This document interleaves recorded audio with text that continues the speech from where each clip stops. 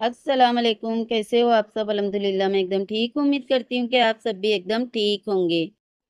तो वही पिटारा बाजी ने हर एक कोशिश कर ली, बच्चों को भी कंटेंट बना लिया, सारा कुछ पटक पटक के कोशिश कर ली, लेकिन वही हुआ कि व्यूज़ नहीं आए तो नहीं आए। इसको मैंने कितनी बार बोली हूँ कि तेरी कोई औकात नहीं है, तेरे चैनल है भले ही, लेकिन यहाँ पे है ना, चलती है कौसर की।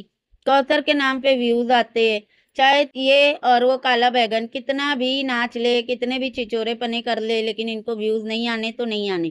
क्योंकि इनके चैनल की जान, बान, शान, आन, जो भी है ना, वो कौसर है।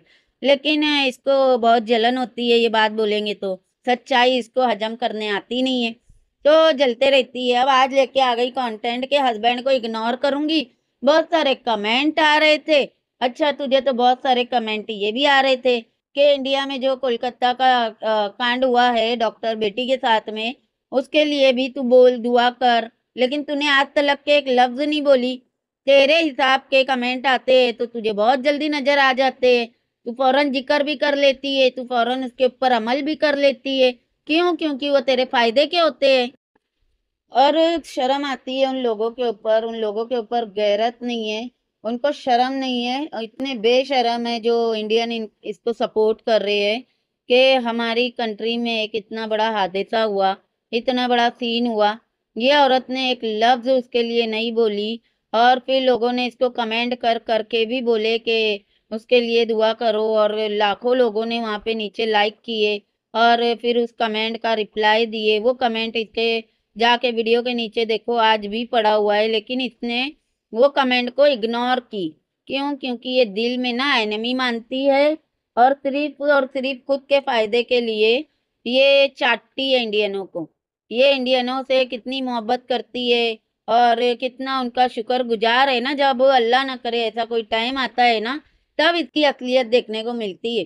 तो डूब के मर जाओ, जो लोग इसको इंडियन होके सपोर्ट कर रहे ये हमारी इंडियन बहन के लिए एक लफ्ज़ नहीं बोली और इसको बैठ के लोग सपोर्ट कर रहे अयाशियाँ कर रही है ये, खर्चे कर रही है, घर पे घर प्रॉपर्टी पे प्रॉपर्टी बना रही है, और इसके मुँह से एक लफ्ज नहीं निकला। तो लानत भेजती उन सब इंडियनों के ऊपर जो इसको सपोर्ट करते हैं।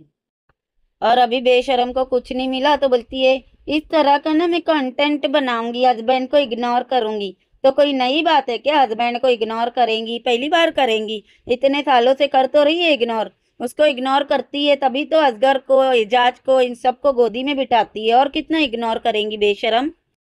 और बोल क्या रही है? ट्वेंटी फोर आवर्स चैलेंज जो कि ये उठी है सो के।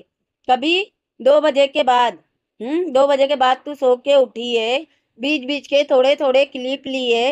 रात तलक के इग्नोरिंग का ड्रामा खत्म भी हो गया। ट्वेंटी फोर हार्स चैलेंज क्यों पिटारा लाइव लगा के छोड़ी है क्या? हाँ? तेरे पीछे पीछे कोई चौबीस घंटा कैमरा लेके घूम रहा है, जो तू ट्वेंटी फोर हार्स का बोलती है। पहले भी इसने इसी तरह का ड्रामा की थी। अगर इतना ही बड़ा चैलेंज की है ना तो एक काम कर लाइव लगा ले और पूरी चौबीस घंटे लाइव चला और तेरे पीछे पीछे कैमरा लेके घूमना चाहिए कोई। तो पता चलेगा कि तू कितनी सच्ची है, ड्रामेबाज झूठी औरत। और आप लोगों को पता ही है, भैंसा सिंपत्ति वाले बातें ना करे तो फिर ये भैंसा भैंसा कैसे कहलाएँगी नहीं? फिर से बोल रही है, रुको बच्चों, में तुम लोगों को बाहर लेके चलती हूँ। इनको तो कुछ पड़ी नहीं है। बच्चे बीमार है, ये, वो है। पिटारा, अगर वो नहीं रहता ना तो तेरे बच्चे भी आज तेरे पास नहीं रहते। और तू पता नहीं किसकी वो बन के रह रही होती। तो थोड़ा ना औकात में रह के बात किया कर। तू कितनी अच्छी है बच्चों के लिए ना, वो हमने कल वाली वीडियो में देख लिया। तू बेशरम की तरह कल क्या बोल के गई?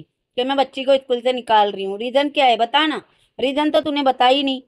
सिर्फ़ और सिर्फ़ ड्रामा करना होता है ना व्यूज़ के लिए। लेकिन फिर भी व्यूज़ नहीं आए। अले, ले ले ले ले, बेचारी को फिर भी व्यूज़ नहीं आए। कि आयत को स्कूल से निकाल रही हूँ? टाइटल थंबनेल डाल के, आयत का रोता हुआ थोबड़ा डाल के, फिर भी बेचारी को व्यूज़ नहीं आए तो फिर अब आ गई चैलेंज लेने के लिए। डर फिटे मुँह तेरे मनूस। अच्छा आयत को ट्यूशन भेज रही है ना तो बोल रही है कि आपका बैग है ना ट्यूशन टीचर के पास ही है। ट्यूशन में ही है। मतलब के घर पे कोई पढ़ाई नहीं, कोई एक्टिविटी नहीं, कोई चेकिंग नहीं। कि बच्ची को वो क्या पढ़ा रही, क्या नहीं पढ़ा रही है मतलब उसको पैसा दे दी, अब उसकी ज़िम्मेदारी है। उसके पास में बच्चे पढ़ रहे नहीं पढ़ रहे फेल हो रहे पास हो रहे इसको कोई लेना देना नहीं है। और फिर बोल रही है कि गोचू को बच्चों की नहीं पढ़ी रहती है। वाह, पिटारा, तुझे बड़ी पड़ी है बच्चों की। वैसे पिटारा, ये कस्टर और मैक्रोनी के अलावा छत्तीस जो मिर्ची वालों, तेरी मैक्रोनी है, इसके अलावा तेरी माँ ने कुछ नहीं सिखाई। मेरे ख्याल से ये मैक्रोनी और कस्टर भी तेरी माँ ने नहीं सिखाई है, तू कहीं पे देख के सीखी है ना? तो इन ये चीज़ों के अलावा तो तुझे कुछ बनाने आता नहीं है है ना? तो बार बार यही दो चीज़ें बना बना के दिखाती है और सलमा को कॉपी करने की कोशिश करती है कि वो किचन में गई है तो मैं क्यों ना जाऊँ, है ना? वैसे तो तेरे ये जो वीडियो की लेंथ है, ये बढ़ाने के लिए तुझे चाहिए था कि तू आज किचन में जाए, वरना तो पके ना पके बस तेरा पेट भर जाए, उतनी ही तेरे को मतलब रहता है। बोल रही है कि मैं इग्नोर करूँगी इसको और उसको ताने दिए जा रही है, दिए जा रही है। इनको तो हमारी कुछ पड़े नहीं रहती है। हम पूछते रहते हैं, ये जवाब नहीं देते हैं। ये लाना है, वो लाना है, ये चाहिए, वो चाहिए, ये इग्नोर करते हैं। वाह पिटारा, अगर के इतना ही वो काम चोर है, तेरा कोई बात नहीं सुनता, तेरा कोई काम नहीं करता है तो वो चौबीस घंटा तेरे से क्यों चिटका रहता है? तेरे को चाहिए कि तू उसको है ना, कौसर के पास रखे। वहाँ पे छोड़ देना उसको। तेरे पास रखी क्यों है? अगर तेरे कोई काम का नहीं है तो। कितनी तू घड्डिया और गिरी हुई और जलील औरत है ना। तेरा बंदर बन के डमरू बजाती है, वो नाश्ता है, इस तरह का वो तेरा बंदर है। और फिर तेरे ये सब डायलॉग शर्म नहीं आती है तेरे को घटिया औरत? बताओ, ये घोंचू की इतनी ज़्यादा बुराइयाँ करती है कि वो जवाब नहीं देता, वो इग्नोर करता है, वो ऐसा है, वो वैसा है। जिस तरह से ये उसको जलील कर रही थी इग्नोर करके, ताने दे के बातें सुना के और वो दुपट्टा सर पे ओढ़ रहा है बर्तन बजा रहा है, हेलो हेलो हेलो, चिल्ला रहा है।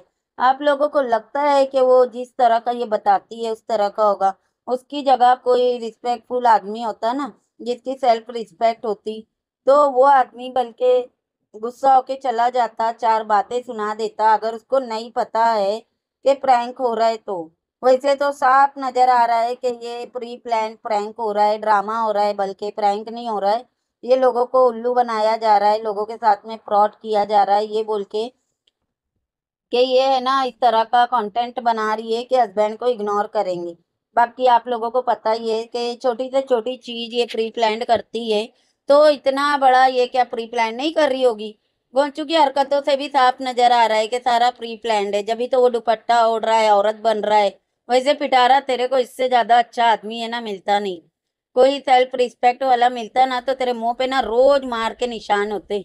लेकिन ये है ना, वो टट्टू की तरह है ना, जिसकी वजह से तू किसी के भी साथ मुँह काला कर लेती है, तू उसको गालियाँ खिलवा देती है, उसके खानदान को गालियाँ खिलवा देती है, और वो तुझे कुछ भी नहीं बोलता। क्यों? क्योंकि वो टट्टू है, टट्टू। और फिर तू उसकी बुराइयाँ करती है, लानत है तेरे ऊपर। यार ये पिक्चर देखो, गोंचू को देखो। ये बोल रही है हस्बैंड अच्छा नहीं है बार बार उसको ताना दे रही है कि हम बात करते हैं, कोई जवाब नहीं देता है, फ़ोन में लगा रहता है, इतने जनों से बातें करता है। ज़ाहिर सी बात है, तेरी सेटिंग करते रहता है ना वो, तेरा दल्ला है ना तो फ़ोन पे बात नहीं करेगा तो मीटिंगें कैसे सेट करेगा? और तू बोलती है अच्छा नहीं है। अब उसने देख लिया, औरत तो बन गया, और क्या बनेगा तेरे लिए? हाँ पट्टे वाला बना हुआ है, औरत बन जाता है, जलील बन जाता है घोंचू बन जाता है। इतनी गालियाँ खाता है और कैसा आदमी चाहिए था तेरे को? एक काम करना पिटारा, कुत्ता पाल ले तू। हाँ कुत्ता भी मेरे ख्याल से इतनी नहीं सुनेगा तेरी, इतनी नहीं चाटेगा जितना ये घोंचू चाटता है बेशरम। कौसर को धमकियाँ देता है कि गाँव भिजा दूँगा और इसके आगे पीछे आगे पीछे दू मिलाते फिरता है। फिर भी ये बेचारी दुखी है। फिर भी चौबीस घंटा ताने देते रहती है और बोलती, क्या है? मैं तो सबर करती हूँ, मैं कुछ बोल दूँगी ना, ये नाराज़ हो जाते हैं। ये लड़ने लगते हैं। तेरी जबान कितनी लंबी है ना पिटारा, वो दिखती है। सोचो कैमरे के सामने इतना सुनाती है, पीठ पीछे कितना सुनाती होंगी, कितना मारती होंगी। और कौसर को तो इन लोगों ने जो पीटे है, इसके हाथ पे निशान देखे ना आप लोगों ने। अगर के किसी ने नहीं देखा है तो कमेंट करके बताना, मैं छोटी सी क्लिप डाल दूँगी। बल्कि मैं डाल ही दूँगी, आप लोग ऐसे रिएक्शन के ऊपर देख लेना। उस औरत के साथ में ये कैसा सुलूक करती है और गोचू से करवाती है और इसके साथ में देखो गोचू कितना ज़्यादा अच्छा रहता है, कितना कुत्ते की तरह रहता है पीछे पीछे घूमते रहता है, फिर भी इसका रोना चालू ही रहता है, इतनी मनूस है ही पैसे के लिए कंटेंट के लिए, अपने आदमी को जलील करना, उसको कार्टून बनाना, औरत बनाना कैसी कैसी हरकतें कराना, ये कोई अच्छी औरत की निशानी नहीं है, पिटारा, ये तेरे ऐसी जलील और दो नंबर औरत ही कर सकती है। वैसे मैनर्स नाम की, ढंग नाम की चीज़ पिटारा में बिल्कुल भी इसकी माँ ने नहीं डाली है।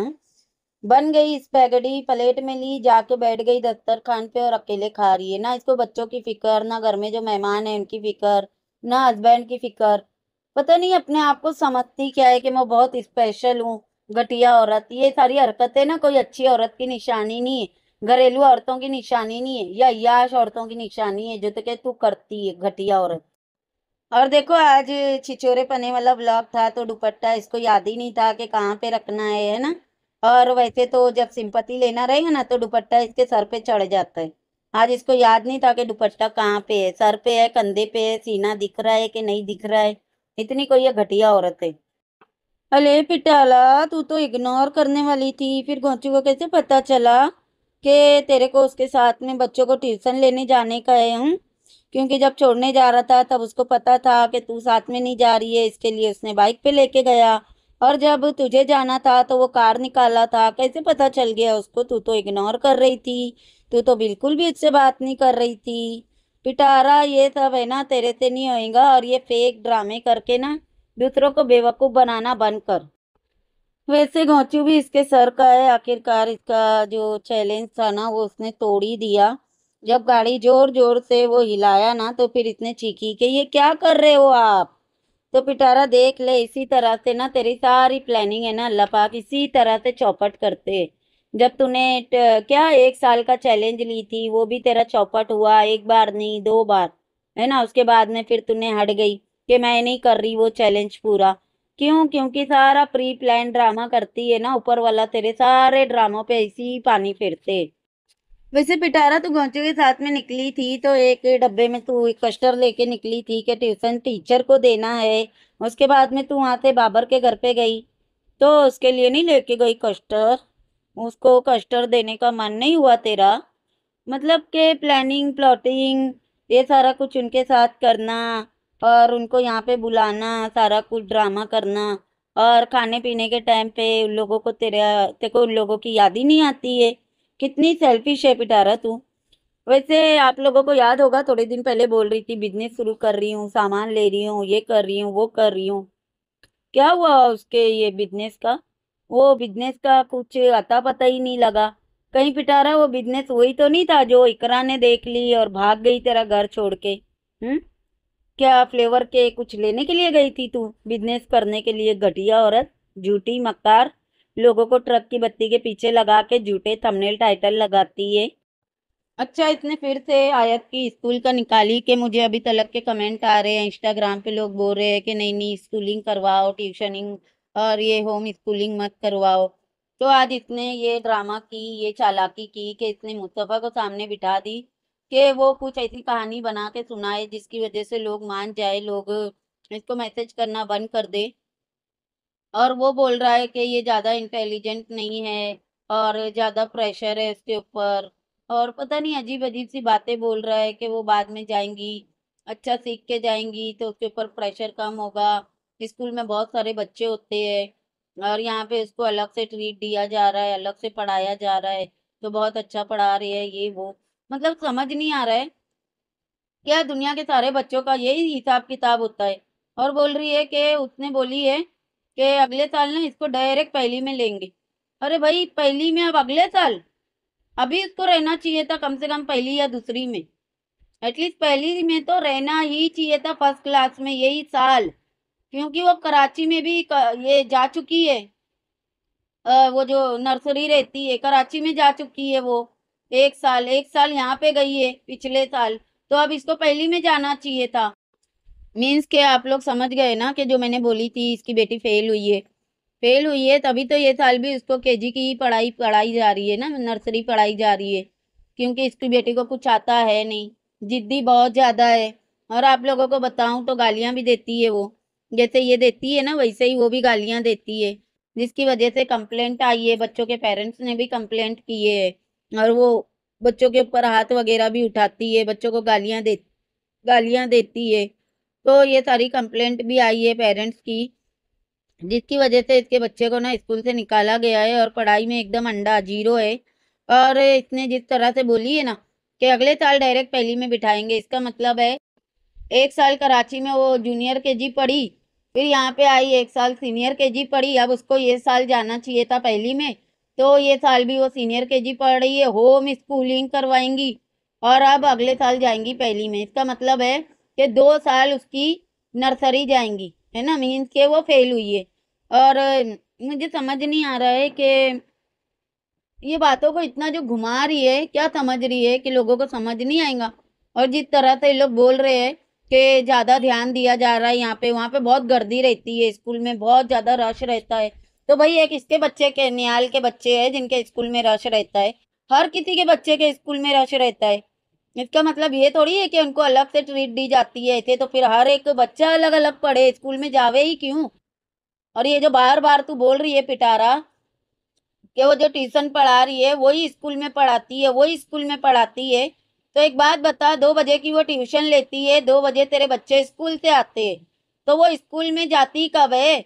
और घर में पढ़ाती कब है? कितनी तो तू झूठी और मक्कार औरत है। और जो स्कूल की टीचरें होती है ना, उनके पास में फिर बहुत सारे बच्चे आते हैं। स्पेशल सिर्फ़ तेरे ही बच्चों को ट्यूशन देवे, ऐसा नहीं है। और इतनी वो स्कूल की टीचर थी तो एक साल से तेरे बच्चे वहीं तो पढ़ रहे थे। तो फिर आगे क्यों नहीं जा पाए? अब आगे भेज देंगी वो इन लोगों को। अरे भाई, इसको पढ़ाना भी नहीं है, इसके बच्चे को स्कूल से भी निकाला गया है। ज़ाहिर सी बात है कि वो जो नर्सरी वगैरह होती है ना, उसमें इतना कुछ खास नंबर वगैरह का नहीं रहता है, लेकिन पहली में है ना अच्छा खासा नंबर चाहिए रहता है इंटरव्यू लिया जाता है, जिसके अंदर वो फेल हो गई है और जिस तरह से वो गाली गलौज करती है जीत करती है, मारती है, उल्टी सीधी बातें करती है, वो सारी चीज़ों को देखते हुए भी इसके बच्चे को किसी ने लिया नहीं है स्कूल में, धक्के दे के इसको निकाले इसीलिए बोलती हूँ पिटारा के पैसे आ जाने से ना मैनर्स नहीं आ जाता, औकात तेरी वही रह गई, देख ले दो कौड़ी की। इतना पैसा होने के बावजूद इसको बच्चों को स्कूल में पढ़ाने का ऊपर वाले ने मौका नहीं दिया। लख दी लाना तय पिटारा तेरे ऊपर। और अभी समझ में आया आप लोगों को कि तैयबा भी स्कूल क्यों नहीं जाती थी? क्योंकि इसको पढ़ाना ही नहीं था। और ये खुद अपने मुँह से बोल रही है कि बहुत खाड़े हो गए एक आध महीने का खाड़ा हुआ है बच्चों का, बच्चों की पढ़ाई का नुकसान हुआ है। तो भाई करवाया किसने? तू तेरी अयाशियाँ करते फिर रही थी, तू मुँह मारते फिर रही थी ना? तो बच्चों का स्कूल का खाड़ा हुआ या नुकसान हुआ ना? हाँ? और लोग तुझे सपोर्ट करते। जब ये घूम रही थी, फिर रही थी, अयाशियाँ कर रही थी, बच्चों के खाड़े करवाती है कि मुस्तफ़ा को बुखार है तो स्कूल नहीं भेजी। आज आयत रो रही थी तो स्कूल नहीं भेजी। आज ये हो गया, आज वो हो गया तो स्कूल नहीं भेजी। अरे भाई, इनको कोई शौक नहीं है पढ़ाने लिखाने का। बच्चा काट खेली है ये औरत ने, लोगों को बेवकूफ़ बनाई है। इनके खानदान में से एक बंदा उठा के निकाल दो जो पढ़ा लिखा होगा। पिटारा के खानदान में से। कोई भी पढ़ा लिखा नहीं है, क्योंकि इनके नज़दीक पढ़ाई लिखाई कोई मायने नहीं रखती है।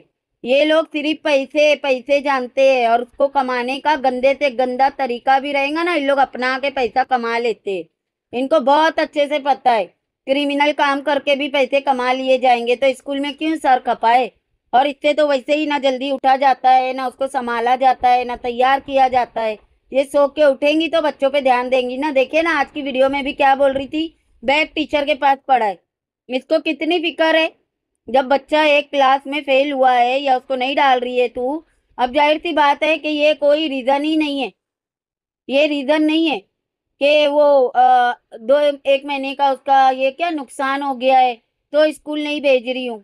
अरे तू ज़रूर भेजती अगर स्कूल वाले बिठाते तो। उन लोग बिठा ही नहीं रहे तो तू भेजेंगी कहाँ से?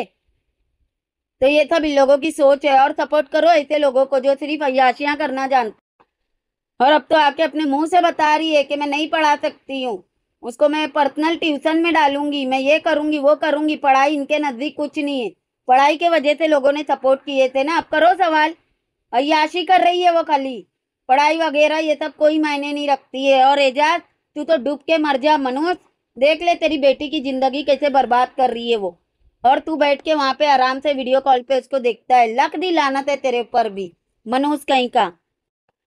एजाज को तो बल्कि थोड़ी भी शर्म आ रहा। हया है ना तेरे अंदर और सच्ची में बेटी से प्यार करता है ना? तो लेके जा तेरी बेटी और अच्छे हाथों में परवरिश कर। है ना तेरी बीवी? उसको दे परवरिश करेंगी। इंसान बनेंगी, इज्जतदार औरत बनेंगी, इज्जतदार लड़की बनेंगी। इसके पास में रह के ना सिर्फ़ और सिर्फ़ पैसा कमाना सीखेंगी और तरीका कोई भी अपना सकती है इसकी तरह। तो चलिए इस वीडियो को यहीं पे एंड करती हूँ। वीडियो कैसी लगी कमेंट में ज़रूर बताना। वीडियो पसंद आएँगी तो लाइक शेयर और सब्सक्राइब भी कर देना। मिलते हैं नेक्स्ट वीडियो में। अल्लाह हाफिज़।